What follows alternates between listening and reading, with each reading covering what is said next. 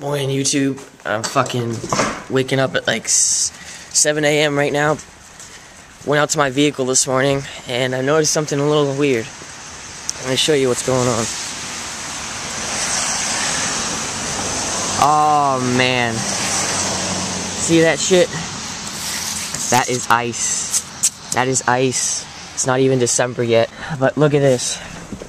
I went in my car and I went on the other side and now, if you, yeah, I don't know if you can see that on camera, but I'm wiping off a layer of like semi-frozen water condensation on the inside of my windshield. I really wish you could fucking see it, but it makes my fingers all wet.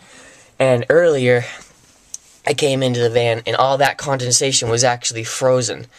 So, um, I didn't know what the fuck I should do. I was like, what the hell? My whole vehicle is frozen on the inside.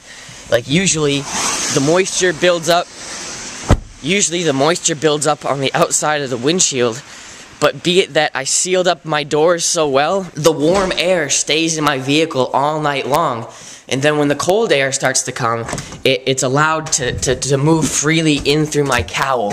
And if you don't know what a cowl is, I'll tell you in the dark here. It's a, uh, it's those, it's the vents that allow outside air to enter through your the front part of your firewall. That's the part where my vehicle has a little problem with. It it stays open all the time and not to mention there's a giant hole in it. Poor fucking thing.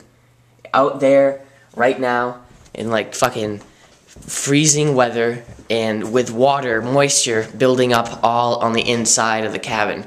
So uh, this is just a word for the wise. Make sure that if you leave your system in your vehicle this winter, make sure you have a completely sealed vehicle so that way that when the mo- then the warm air is trapped in your vehicle overnight that it doesn't create condensation on the opposite side of your windshield maybe even on your fucking components of your vehicle because when I first went in there I was like my fucking pioneer deck had had ice all over it. I was like how the fuck did the ice get in there? So I had to do a little bit of a I had to do a little bit of freaking investigation, but whatever. I'm just gonna stop recording because I'm kind of fucking pissed off. I don't know what I'm gonna do, but I'm I'll, sure I'll find something. If I can maybe fix the cowl, I'll keep my system in for the fucking winter because it, my my vehicle stays nice and warm, like inside, except for on the. I don't know. Fuck it. Whatever. I'm just really kind of upset. I don't know where to turn. You know, I, I want. I don't want fucking ice buildup in my van. That's for damn sure.